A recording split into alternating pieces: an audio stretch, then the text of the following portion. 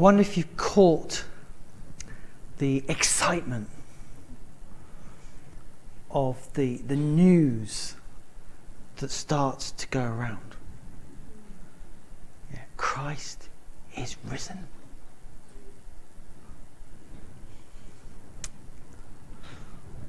I want to kind of blend some scriptures together for us this morning because I couldn't find one that worked for me. So um, I want to start by um, by reading from John chapter 20. Uh, in my Bible, it's entitled The Empty Tomb, which is kind of appropriate. And it reads like this On the first day of the week, Mary Magdalene came to the tomb early, while it was still dark. She saw that the stone had been removed from the tomb. So she went running to Simon Peter and to the other disciple, the one Jesus loved, and said to them, They've taken the Lord out of the tomb, and we don't know where they've put him. At that, Peter and the other disciple went out, heading for the tomb. The two were running together but the other disciple outran Peter and got to the tomb first. Just a little editorial note. The other disciple, who's John, who's writing this, I just think it's really good. And he says, I got there first. and stooping down, he saw the linen clothes lying there, but he did not go in. Then, following him, Simon Peter also came. He entered the tomb and saw the linen clothes lying there the wrapping that had been on his head was not lying with the linen cloths, but was folded up in a separate place by itself. The other disciple who had, who had reached the tomb first then also went in, saw, and believed. For they did not yet understand the scripture that he must rise from the dead. I'm, I'm intrigued by that. They, they, they were still trying to get their heads round what this meant that Christ had risen from the dead. And I kind of would like now to flip back a bit to John chapter 5, where Jesus says something really interesting, which I'm pretty sure at some point they will have gone back to in their thinking. So, John chapter 5, and I want to pick it up from verse 19. Jesus is talking, and he says, Truly I tell you, the Son is not able to do anything on his own, but only what he sees the Father doing. For whatever the Father does, the Son likewise does these things. For the Father loves the Son and shows him everything he is doing, and he will show him greater works than these, so that you will be amazed. And just as the Father raises the dead and gives them life, so the Son also gives life to whom he wants. The Son also gives life to whom he wants. What, what an amazing picture we've got of this, this Jesus who not only breaks free from a tomb, but actually says he has the ability to give life. And I'd like us to think about that life this morning. I, I, mean, God, God has given us life effectively twice over. I, I hope you realize that. First of all, you were born. Yeah?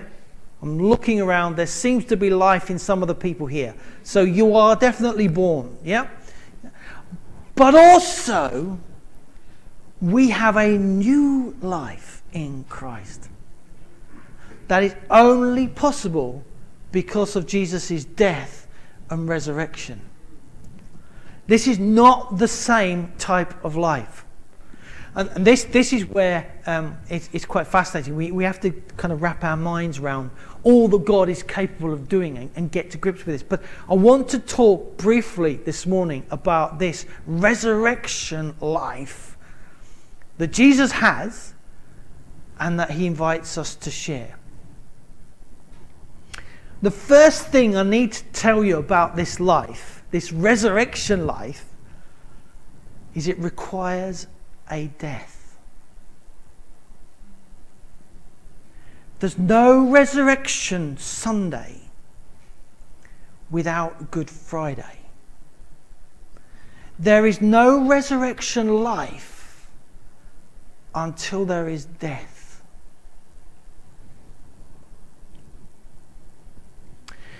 Our problem, our challenge is I, I, look at you and you look at me and we think we're alive. Yeah? Because we're breathing. I can move around. I'm not still. I'm not, I'm still in this body. Um, I'm alive. And, and we think this is life.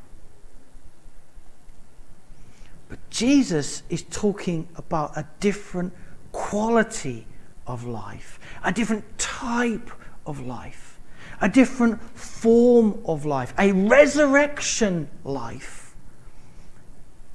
that only comes to us when we embrace death. What do I mean by that? Well, Jesus in Matthew chapter 16, around verse 25, he says, If you want to save your life, lose it. If you want to lose your life, just hang on to it. Try and hang on to it, you'll lose it. But if you lay down your life, you will find it. And what he's saying, he's pointing us to this resurrection life, where he's saying, to, to, if we, we live for ourselves, we live for this earth, we live for what we can, can do. I mean, a lot of us are looking forward to really nice Easter Sunday lunch. Yeah? A Few of us, maybe. Yeah? Um, maybe nice piece of roast lamb, or maybe it's just going to be a sandwich outside. I don't know. But you're looking forward to lunch because we are we are living in this physical world and we are aware of our physical being. And we think it's all about this physical life. That's why when we get sick, we are desperate for healing because we're anchored into this physical world. And we're afraid about physical death because we have no confidence, no hope for a future, an eternal life with God. And until we put to death our selfish existence, until we surrender to the very will and, and life of God Himself, we're not really living. Jesus said, I can only do what I see the Father doing. He was truly alive, He was totally surrendered to God in everything. Jesus also said in Luke chapter 9, verse 23 Take up your cross daily. Take up your cross daily. And every single day, if we want to be followers of Jesus, every single day we must wake up saying, God, I am willing to die today that I might live for you. I am willing to let my own selfish agenda, my own thoughts, my, everything I want can go. Only what your will, your will be done the Lord's Prayer, Your kingdom come, Your will be done. It's a complete and utter death of self that we might live for Christ. One of the reasons why I feel the church in this part of the world is so weak is we have not embraced death. Because we cannot live for Christ until we're prepared to die with Christ.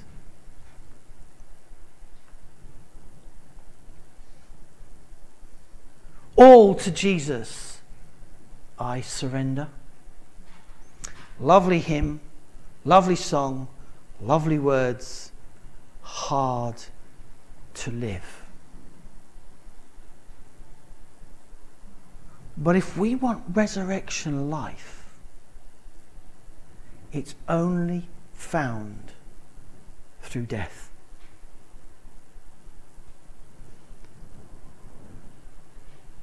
Are we ready to die that we might live? You see, this resurrection life, it's a, it's a new life, it's a different life. And and it's, it's pictured for us beautifully by uh, Paul in Romans chapter 6. So I'd, I'd, just like to, to read this part of Romans, the beginning of Romans chapter 6. Paul's writing and he says, What should we say then? Should we continue in sin that grace may multiply? Absolutely not. How can we who died to sin still live in it? Are you unaware that all of us who were baptized into Christ Jesus were baptized into his death?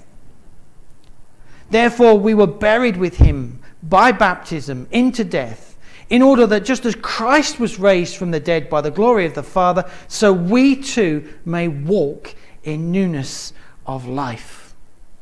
For if we have been united with him in the likeness of his death, we will certainly also be in the likeness of his resurrection. For we know that our old self was crucified with him, so that the body ruled by sin might be rendered powerless so that we may no longer be enslaved to sin, since a person who has died is freed from sin.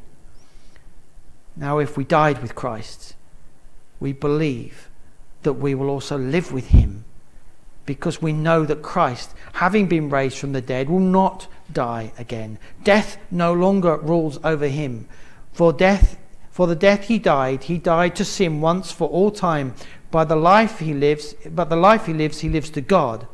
So you too, consider yourselves dead to sin and alive to God in Christ Jesus.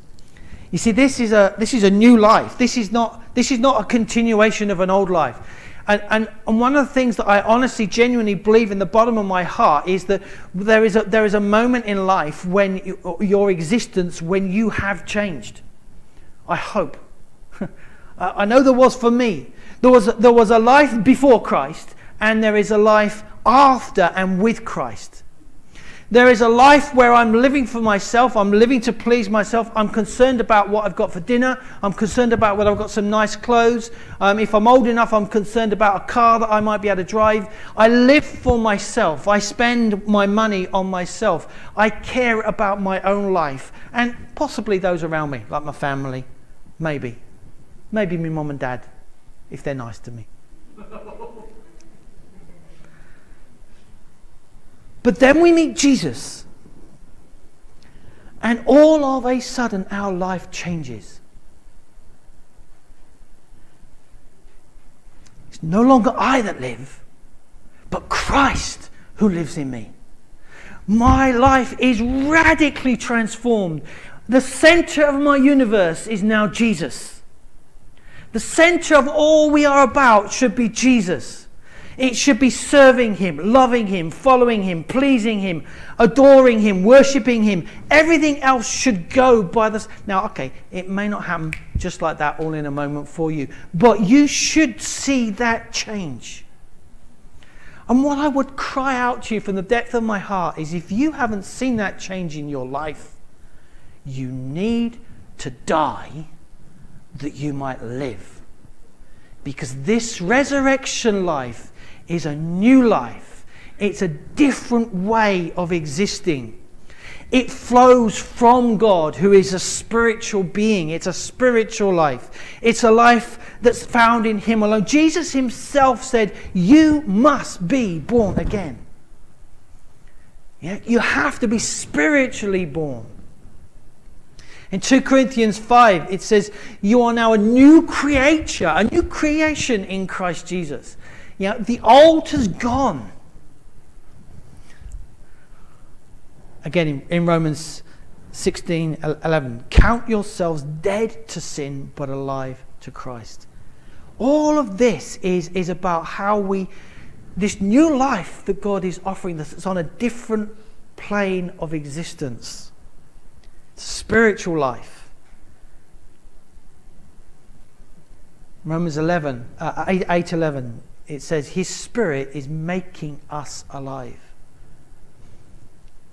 In a few weeks' time, we will get to Pentecost. Uh, and you see, you go through Good Friday, you die. You go through Easter Sunday, which is resurrection life.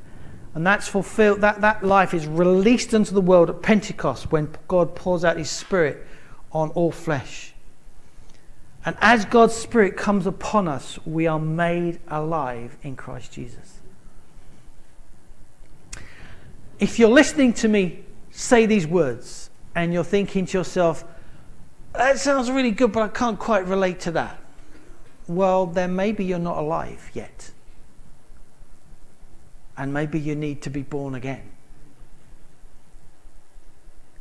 And it just don't, it doesn't matter how long you've been coming to church. It doesn't matter how, long, how many sermons you've listened to. It doesn't matter how many times you've read, read the Bible or not read the Bible. If we haven't surrendered totally to Jesus and gone through that process of dying, we will not have resurrection life. So, where are we today? Are we feeling the life? Or are we still struggling with life?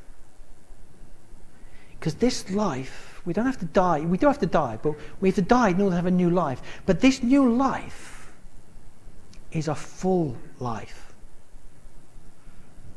In John 10, one of our favorite verses, Jesus said, I've come that you might have life in full, in abundance.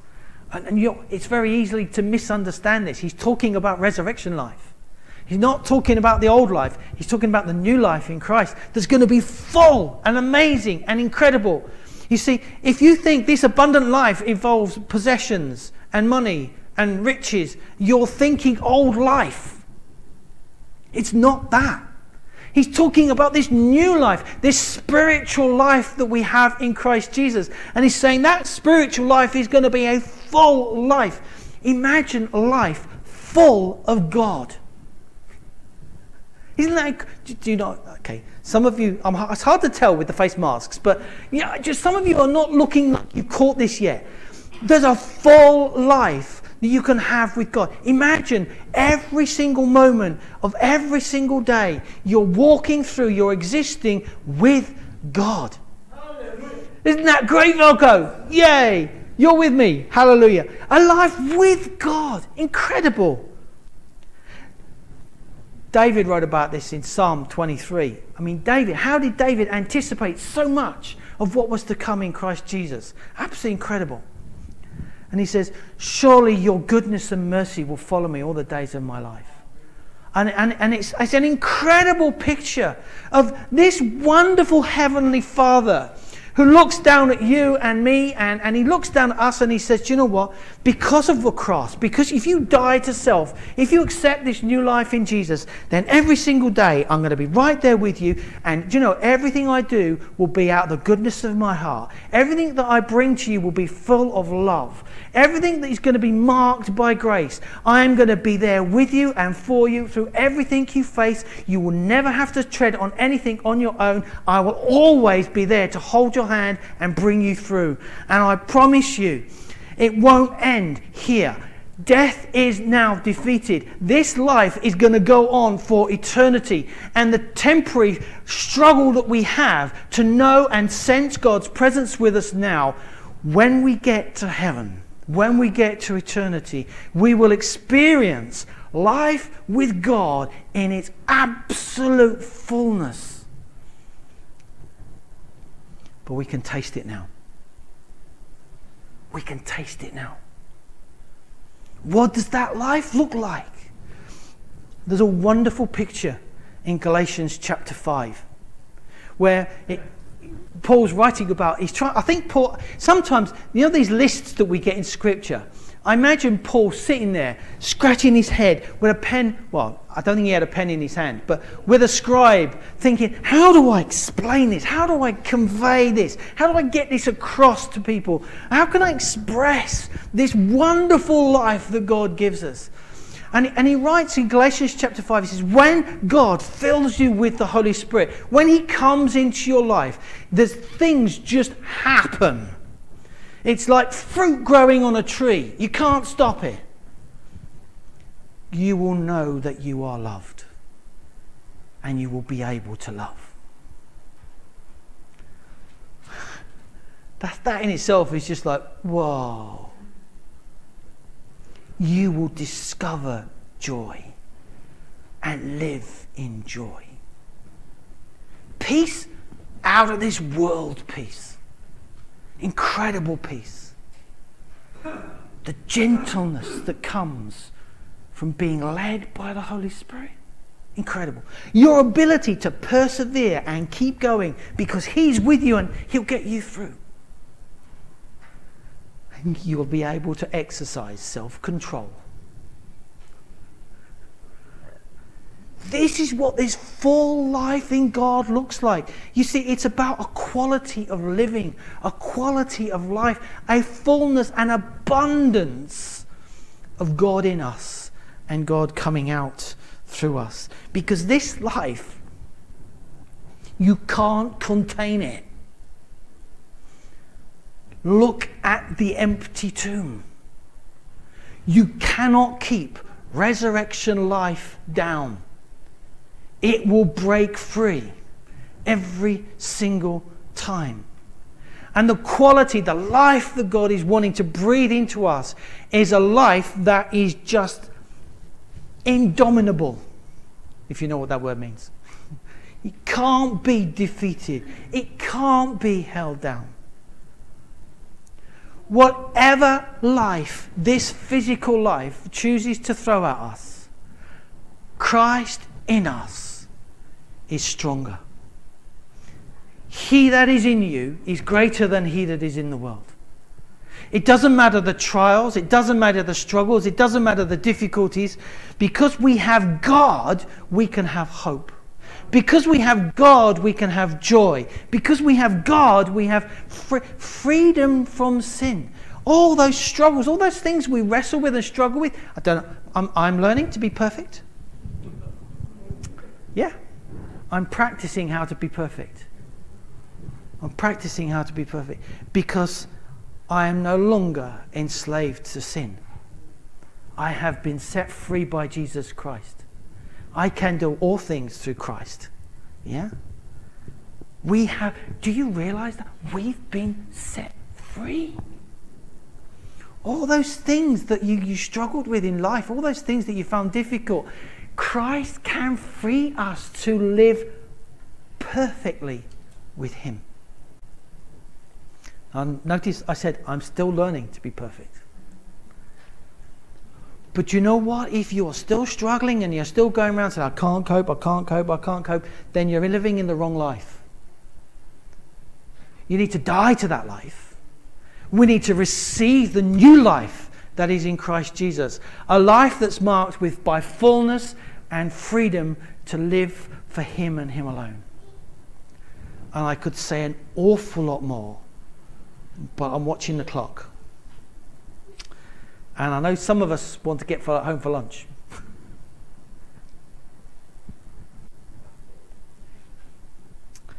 this resurrection life is ours to live. All we have to do is die.